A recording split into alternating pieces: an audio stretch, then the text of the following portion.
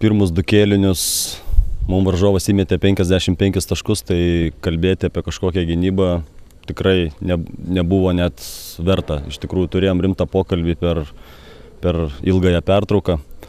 Šiek tiek pakeitėm gynybos sistemą ir iš dalies tas pasiteisino, bet dėja iš tikrųjų per vėlai, nes žaidžiant su tokio su tokio, sakykime, kalibro komanda kaip šiemet Lietkabelis, e, prieš tokius patyrusius žaidėjus labai sunku atmesti, sakykime, tą skirtumą atžaisti.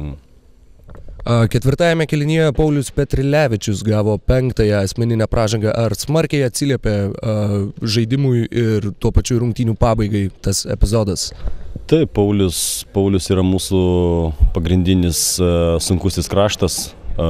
Tai, sakykime, to Žygimanto skučio paskutiniai taškai per Justą Sinicą, tenai ko gero galėjo stovėti Paulius, bet buvo, buvo kaip buvo, yra kaip yra ir čia čia yra krepšinis ir reikia žiūrėti priekį, daryti išvadas ir judėti tolin.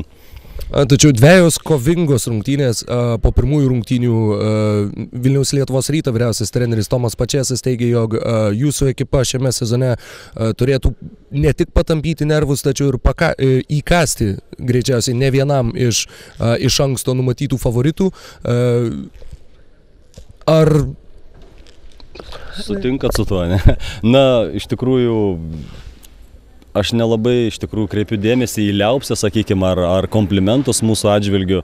Mes sunkiai dirbam per treniruotės, mes turim savo, sakykime, žaidimo braižą, mes jo laikomės, bet kaip ir pats žinot, vis tiek ir galiai ir žiūrovai nori pergalių, neužtenka vien gražiai sukovot. Tai aš manau, kad, kad mes esam teisingam keli ir ir norisi tų ir pergalių.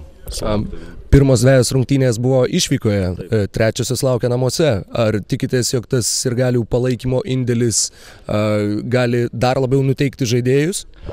Na, aš tikiuosi prie savų, savų ir galių iš tikrųjų sukovoti gerai, bet uh, žaidžiam su Prienu, Prienu Birštonu, Birštono Vytautu, iš tikrųjų jie parodė jau ir prieš, prieš sezoninėse rungtynėse ir pirmose rungtynėse su Neptūnu, kad iš tikrųjų aukšto lygio komanda ir, ir tikrai gerai subalansuota, gerai, gerai sukomplektuota ir tikrai bus sunku, bet aš, aš galiu pažadėti, kad tikrai mes išlaikysim tą kovinę dvasę ir kausimės dėl pergalės.